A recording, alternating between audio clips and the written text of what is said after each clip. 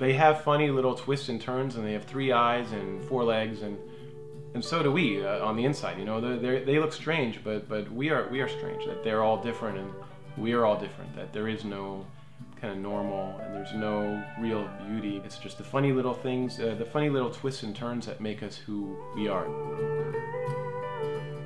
An Uglydoll is, it's you, it's us. They're sort of like an embodiment of the things that we want to cover up but shouldn't. They're not monsters, they're not creatures, um, they're the uh, physical manifestation of the things about yourself you dislike the most but should love and hold on to. Sun-Min Kim is, is my wife now. She hand sewed the first 1,500 uh, Uglydolls in the very beginning. She had no sewing machine.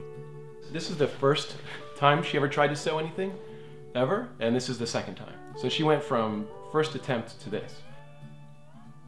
Everything starts actually with uh, drawing.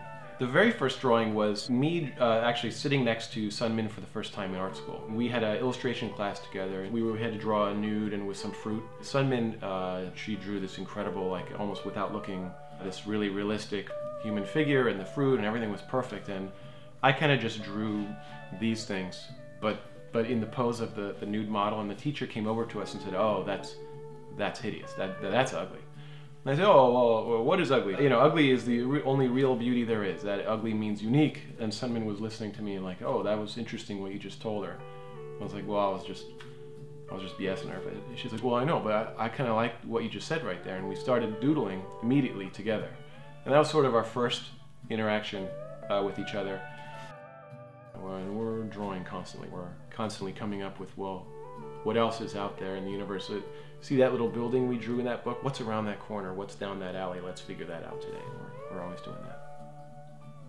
It's working night and day, drawing uh, stories and, and creating products and scenarios, and that part's never changed really. We're just expressing it in different ways. So the the actual work was it's still the same table and it's still the same seven different size pens and the same pieces of paper and that that part hasn't really changed. Uh, all the stuff that's perceived as bigger is happening kind of out there, and we're just in the same size room with the same lamp, doing the, doing this, doing what we usually do, the same as I was doing when I was ten.